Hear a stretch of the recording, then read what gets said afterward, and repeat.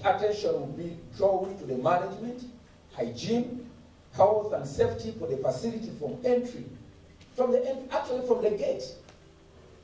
We do this from the gate. When we were at Sheraton Hotel, we began from the gate. Yes, from the gate, how are people enter, how are they accessing your, your facility? Then at the checkpoint, at the enter, at the, how are they observing the social distance even when they are the exception? Then the stairs, yes, all this, we, we, we, we, at this inspection, I know Bradford and the team will be able to do this. It's part of the quality assurance. We are positive that the facilities are implementing these standards, and hence Uganda will see a steady recovery of the tourism sector. I thank you.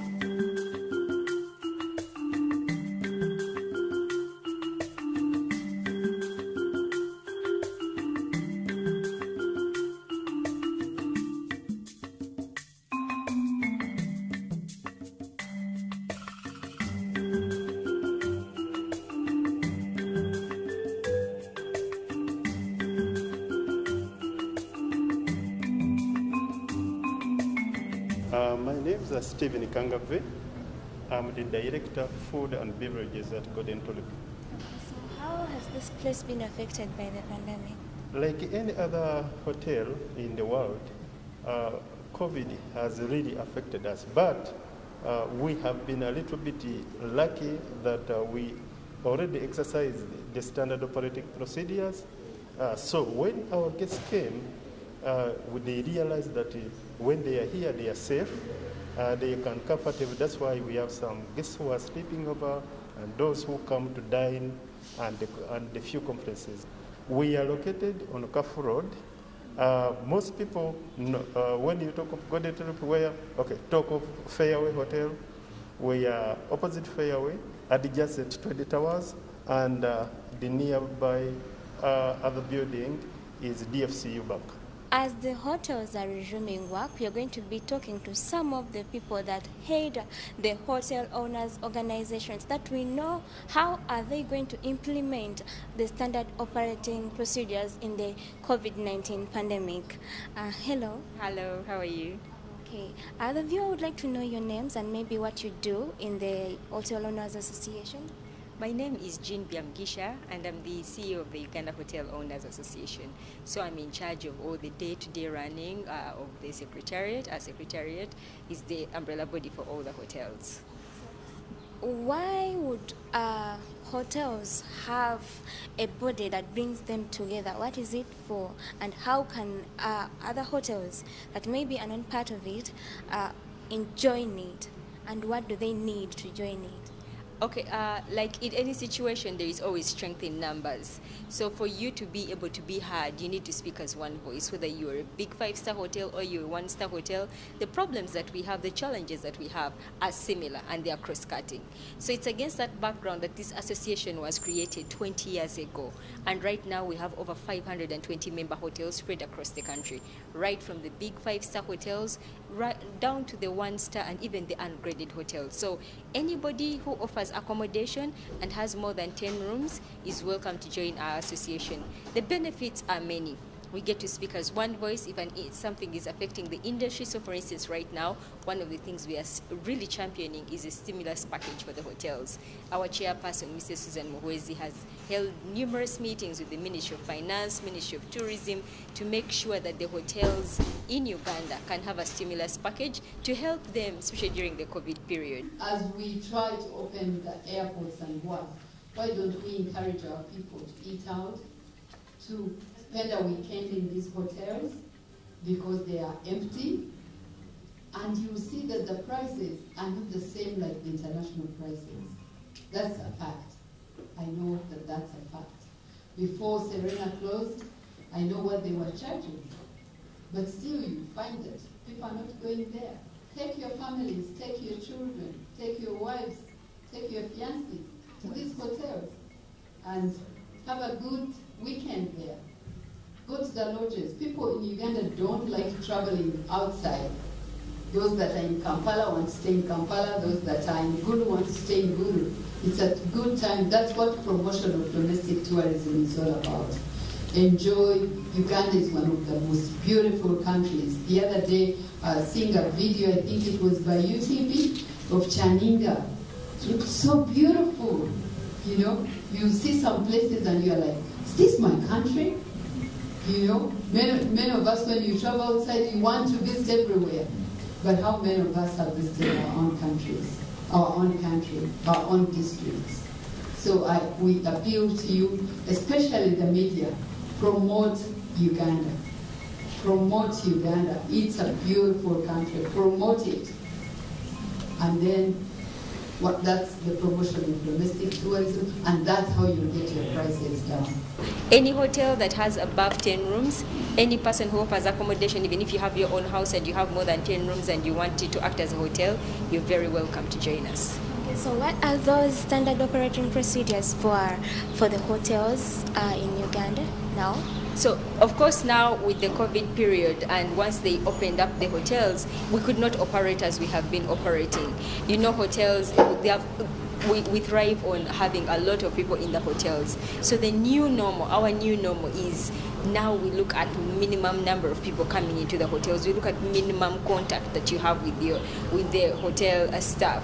So, for instance, now with the new standard operating procedures, we've had to reduce uh, the number of seating within the restaurants. If you'll notice today, the restaurants that are usually full, people close to each other, on a table that sits 10, we were only seated four people. You will also notice that many of our staff have masks and they have gloves because they are uh, dealing with many staff, they are dealing with many guests. They don't know who is infected or not. Priority now is on protecting the people and this, the hotel staff.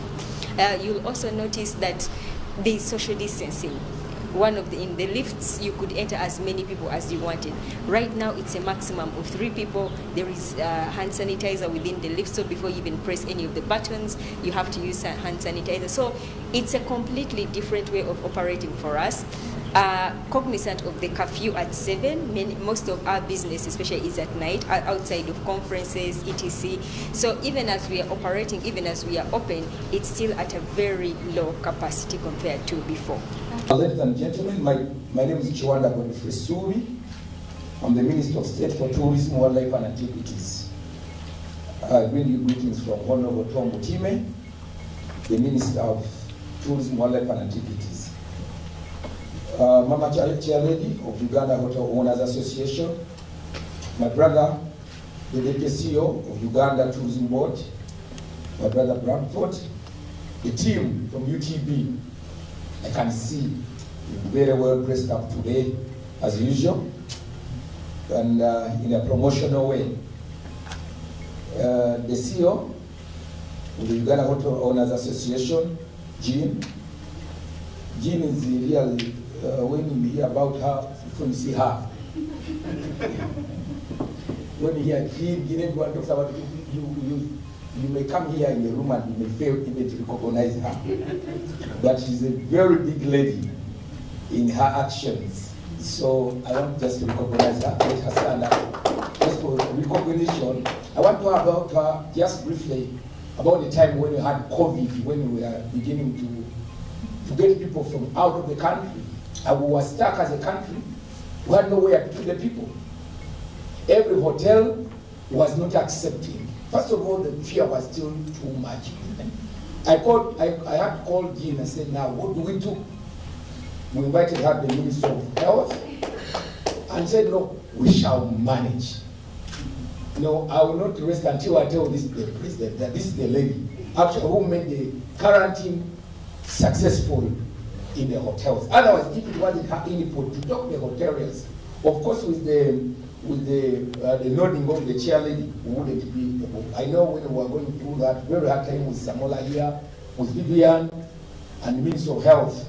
I want to thank hotel, uh, hotels that accepted us, and thank you for convincing them. And that's why we, uh, when we hear about the success on COVID-19, it's actually been, um, everyone has participated. Just imagine if all hotels had said no. We had nowhere to put these people, we had not organized the schools, and uh, if everyone had gone home, we would have more infections. Definitely, if you had allowed anyone to go home, probably to see to have um, self-quarantine, it was going to be very difficult because even those whom we allowed, they were not disciplined enough to keep it that way at the self-quarantine. Very few Ghanaians that actually can keep their discipline. You go home and sleep in your room alone, and you leave the rest of the family in the other rooms. The next day you find people have come to greet you because you come from Saudi Arabia, and actually they are, they are already in parties. But now, because we were able to have these people hosted in our hotels, we were able to identify them, and we couldn't have infections of infection. That's why we, we took long to move to the second level of infections because we were able to quarantine these people in the hotels. So I want to thank you. I want to thank the Uganda Hotel Association, uh, Owners Association and the staff. The media fraternity, thank you for always being there for tourism. Tourism without media is not tourism. The minister earlier on talked about you as being one of the people that pioneered uh, making quarantine in hotels possible. Uh, what are some of these hotels that were chosen as quarantine centers and why them in particular? Okay, um, like the minister said in the beginning, there was a lot of misinformation and very little information at the very beginning. So coronavirus was really intimidating and really scary. So when it came to when the government needed quarantine centers and hotel I mean and the hospitals didn't have the capacity, they looked at hotels. But people in hotels were very scared. Number one, the stigma.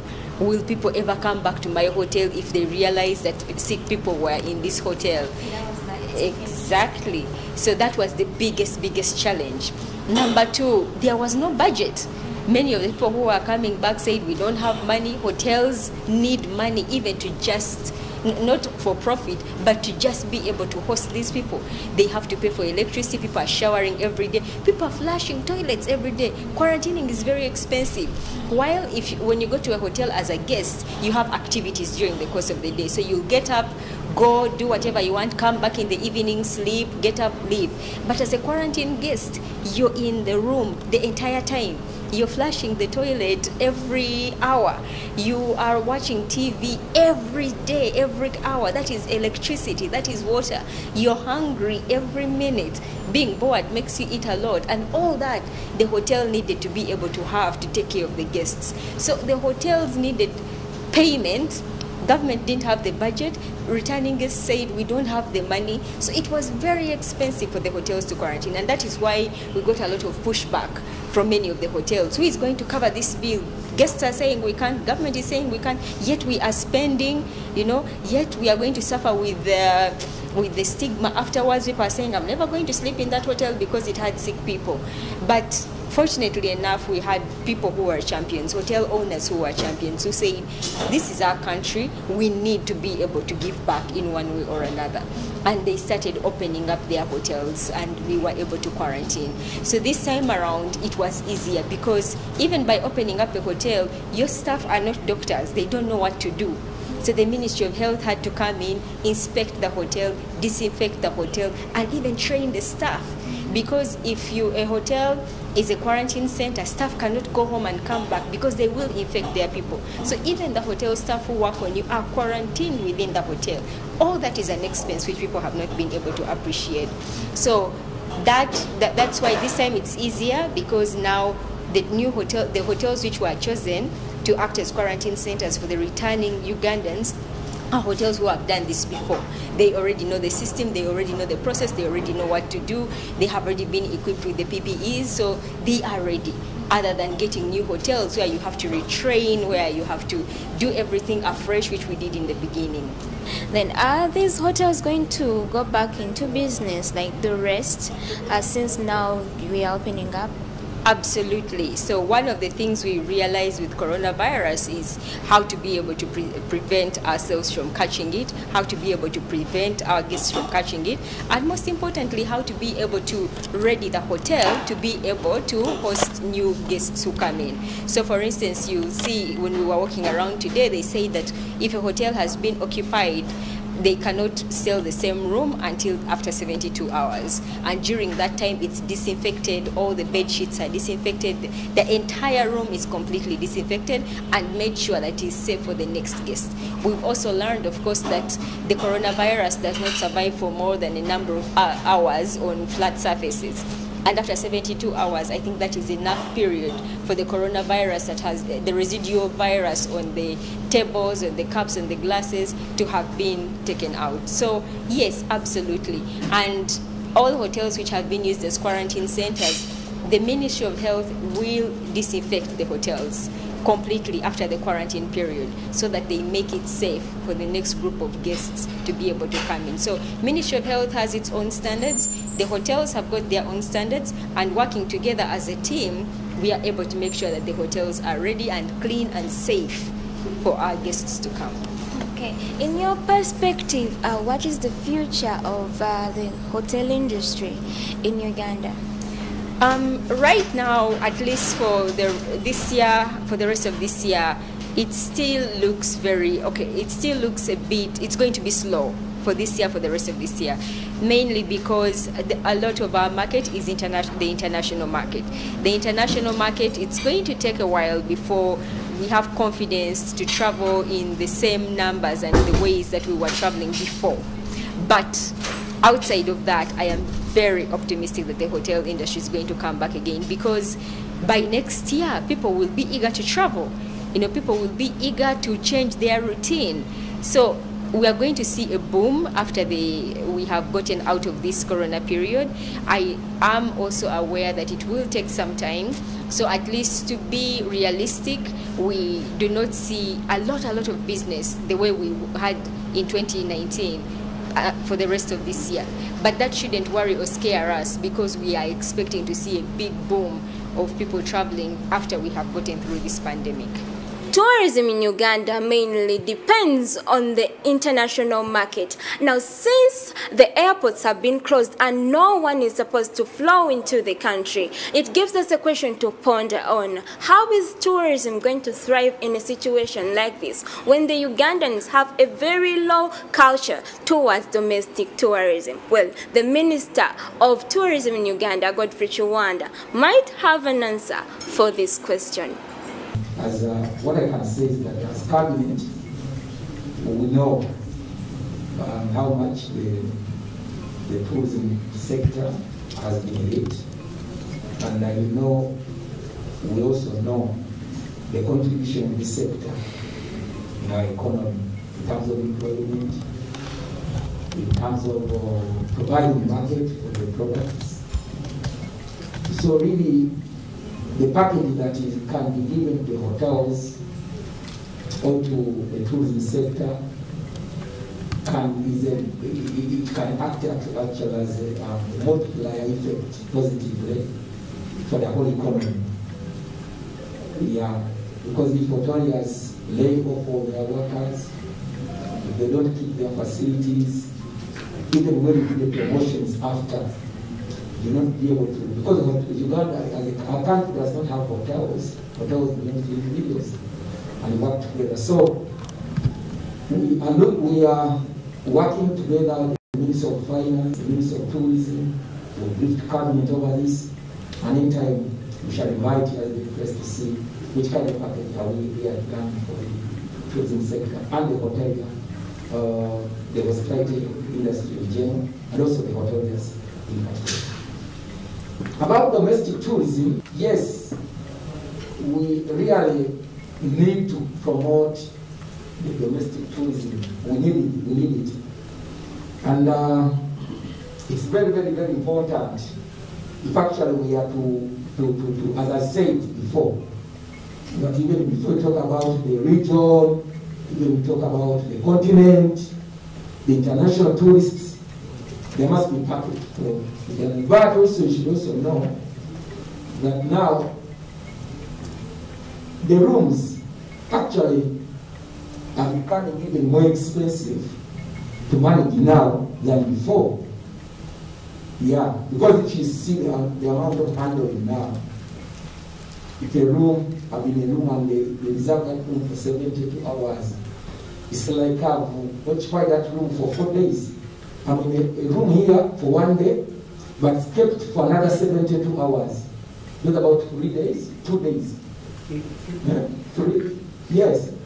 So, so really, that makes the room even more expensive. But we, we shall sit more. We are still discussing between the tour operator, UT actually, because the mother, uh, camp, um, association for all the, the, the private sector, but also UTB and the ministry.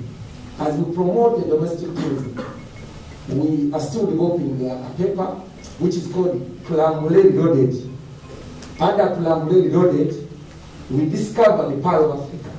It's a paper that we are developing.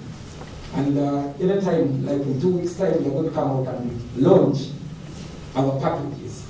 Because, yes, we are going through this is expensive, but we need to open up. You know, keeping the hotel empty, you rather have someone in that room, even when they're not be able to, take, to pay the $450 or the $500 that you've been charging.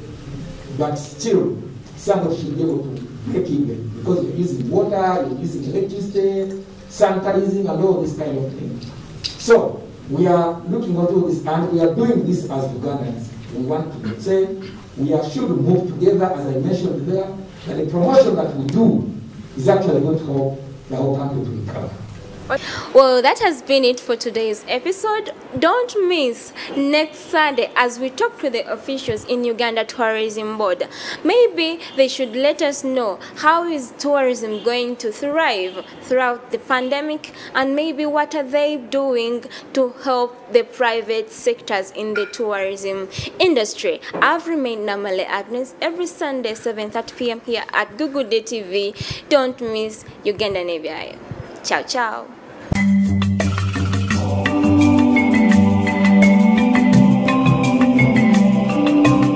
eno ye uganda n'ebyayo